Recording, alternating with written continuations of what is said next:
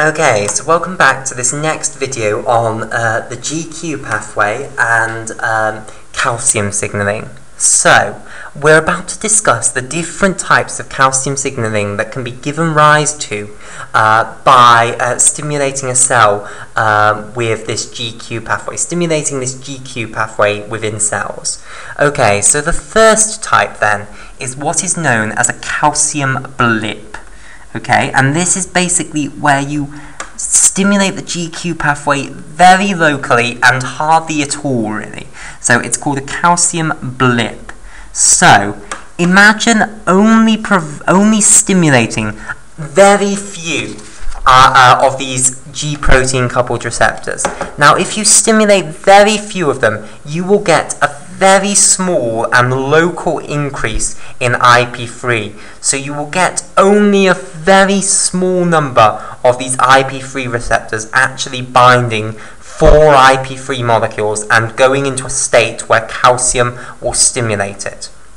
So, basically what happens is if I draw the endoplasmic reticulum here, you end up with most of the IP3 receptors not having um, IP3 bound to them, and therefore they have inhibitory calcium binding sites uh, on their um, uh, cytosolic surfaces, basically. So this is an inactive IP3 receptor. It's not primed. It doesn't have IP3 bound to it.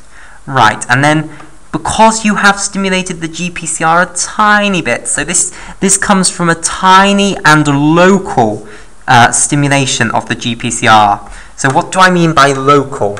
Well, what I mean is if this is the cell here, the cell uh, will be covered in these GPCRs. So the GPCRs will be all over the place, okay? Now, you can either bathe the entire cell in the ligand, in which case the GPCRs all over the cell are going to be activated, or you could just put a tiny surface of the cell in the ligand, basically. So that's what I mean by a local exposure to uh, the ligand, basically, just exposing a little bit of the surface of the cell. So you've got a tiny and local increase in IP3. So IP3 is going to increase locally where this uh, GPCR was activated.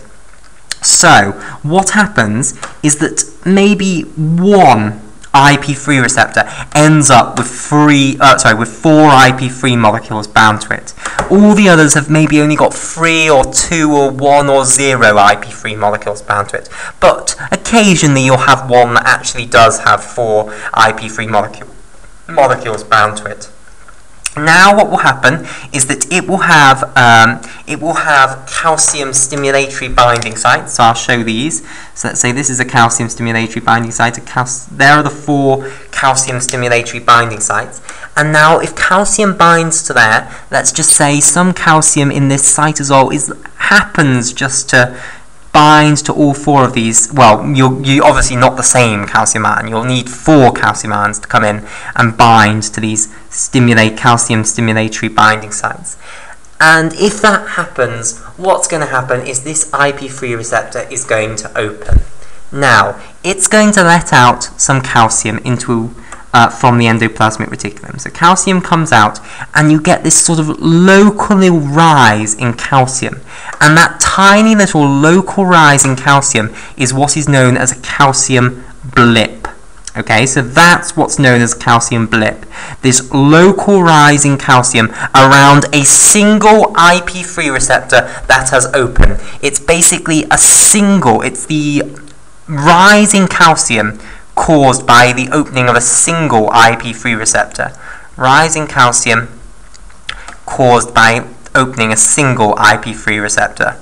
Caused by opening a single IP3 receptor. Okay, right. Goodness, that's a lot of writing. IP3 receptor. Right, okay. So, what is going to happen when you do this? Uh, well, the calcium is going to diffuse out, you know. You're going to get some calcium diffusing onto these neighboring IP3 receptors. But these neighboring IP3 receptors don't have four IP3 molecules bound to them. So they have inhibitory calcium binding sites exposed. So calcium binds to the inhibitory calcium binding sites and is going to inhibit its neighbors basically. So you're not going to get uh, a propagation of activation of IP3 receptors like in a calcium wave. Instead, what's going to happen is you're going to have lateral inhibition effectively. It's going to inhibit its neighbors basically. So calcium's going to go over here and inhibit this IP3 receptor and similarly on this side over here. So you only get a single IP3 receptor opening basically. Okay, and um, you see these tiny little local rises in calcium. Okay, so um, that's what's known as a calcium blip, and it will be caused by tiny little rises in IP3 that are very, very localized, basically. So you're not getting IP3 going up in the entire cell. You're only getting it going up in a tiny bit and for transient amount of time, potentially. And what will happen to this IP3 receptor is that it will release a bit of calcium. You'll get very, very high calcium concentration around this IP3 receptor. And then when the calcium concentration starts to build up, if the calcium concentration around the IP3 receptor gets too high, which it will eventually, then calcium goes from being stimulatory on the IP3 receptor to suddenly inhibiting it. When that calcium, so I'll repeat that, when calcium gets too high around an IP3 receptor, it inhibits it, no matter what. Even if it's got four IP3 molecules attached to it, it still inhibits it. If calcium concentration gets too high, it inhibits the IP3 receptor. So the IP3 receptor will get inhibited and then it will stop conducting calcium. Okay, so you get a tiny little local rise in calcium around the IP3 receptor that opened, and that is what is known as a calcium blip. Okay, so now let's look at the second type of calcium uh, signal that can, give, that can be given rise to from, um, from uh, the GQ pathway. And this is called a uh, calcium puff. Okay, right. So, in the case of a calcium puff, you get a slightly bigger um, you get a slightly bigger stimulation of the cell. So you're going to provide slightly more uh, ligand to a slightly larger area of the cell. And what will happen now is you'll get a region of IP3 receptors that are activated. Okay, so let's say this is a IP3 receptor here. And then you'll get a whole bunch of them basically in this nearby sort of um, region of the cell which are all being activated because uh, the um, G protein coupled receptor in the vicinity of them has been activated. So let's draw a bunch of G protein coupled receptors near these that have been activated.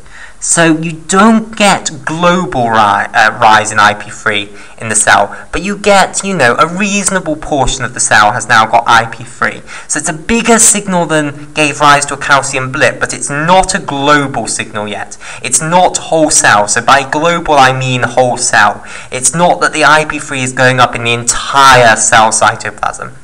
So, what happens is you get a whole bunch of IP3 receptors which have all got IP3 bound to them. So four IP3 molecules are bound to them.